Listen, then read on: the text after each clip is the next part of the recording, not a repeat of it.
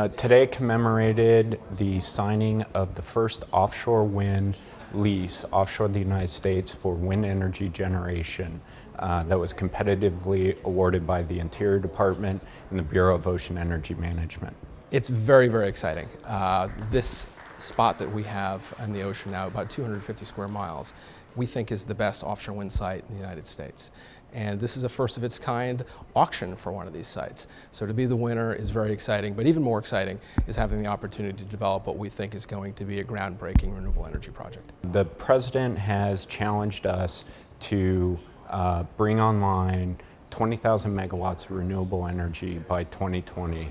Uh, offshore wind for the United States, I think, is going to be an important part of meeting that goal, uh, meeting that challenge by the president to help us uh, address climate change. So the next big step is really to assess the site, to, to understand uh, how much energy the site can produce. We have a rough idea, but we need to understand more specifically. So we'll be measuring the wind.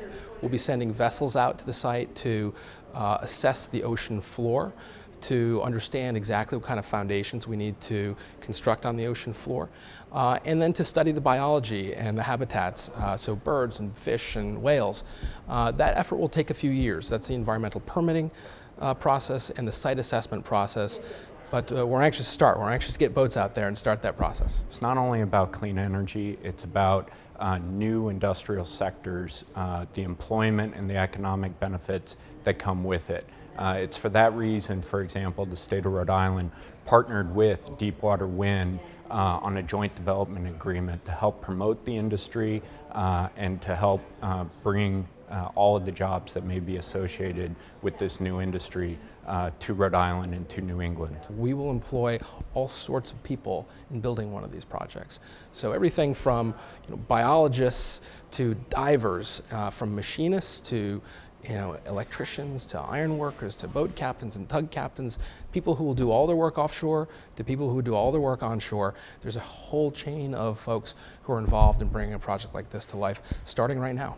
It's an extremely proud moment uh, for me uh, and for the staff of the Bureau of Ocean Energy Management. It was a lot of work to get to this point, uh, a lot of work uh, working with stakeholders, working with the states uh, to help define the area and reduce potential for conflict. Um, we did that successfully, and it was all of that front, upfront effort uh, that led to such a successful sale and eventually is going to uh, lay the foundation for new wind energy and clean energy offshore the U.S.